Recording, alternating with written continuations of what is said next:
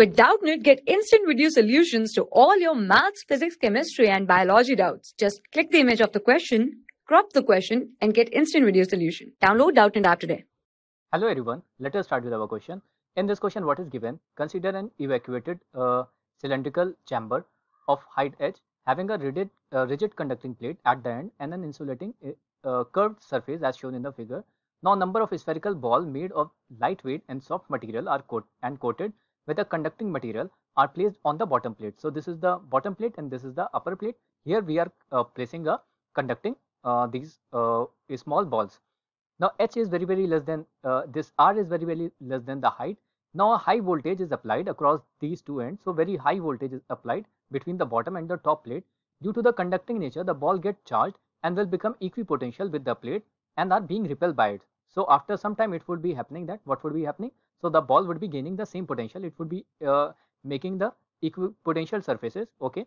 So having the same potential and it would be connected to the positive terminal. So the ball would become positively charged. So they would be becoming positively charged. Okay. Now due to this positively charged, there would be a repulsion. Okay. Now the balls will eventually collide with the top plate and repel by it and they are they would be eventually uh, this moving here uh, where the coefficient of restitution can be equal to uh, can be taken to be zero due to the soft nature of the material.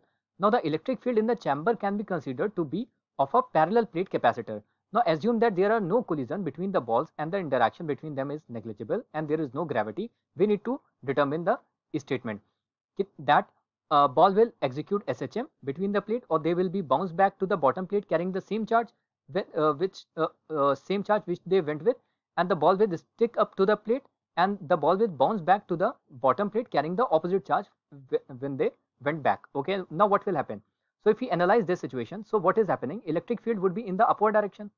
Okay, so can this motion electric field is in this direction? That means the force would be in this direction. Okay, the force on the particle would be in this direction. So what is the acceleration? We say that acceleration is force per unit mass.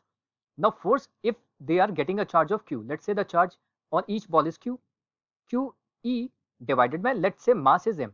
Okay, now we can see that a is not proportional to x. For the motion to be SHM, for SHM, for SHM, A should be directly proportional to minus of the displacement. Acceleration should be directly proportional to minus negative of displacement. Now here we see that acceleration is constant. Now if acceleration is constant, this cannot be the SHM. So this option is wrong. Okay. Now what will happen after that? So they will be carrying with the same charge or they will be sticking or they will be bouncing back. Now since they are having a positive charge, so they will be coming here with a positive charge and this is the negative charge. So what will happen? Ultimately they would be giving up their charge. While giving up, they would be coming with the negative charge terminal of the battery. Again, they will be becoming equipotential with this terminal and due to the repulsion, they would be again coming back with what charge? With the negative charge, with the negative charge. So that means they would be bouncing back to the bottom plate with the opposite charge. So D would be the correct option. So in B part, what is given? They would be carrying the same charge. No, this is wrong. And in the same part, they would be sticking to the bottom. No, because by gaining the uh, this negative charge, there would be collision. There would be repulsion. Sorry, there would not be collision, but there would be repulsion due to which they would be coming in the downward direction. So the correct option would be our D option. Hope you have understood the solution. Thank you. For class 6 to 12, IIT JEE and NEET level. Trusted by more than 5 crore students. Download Doubtnut App today.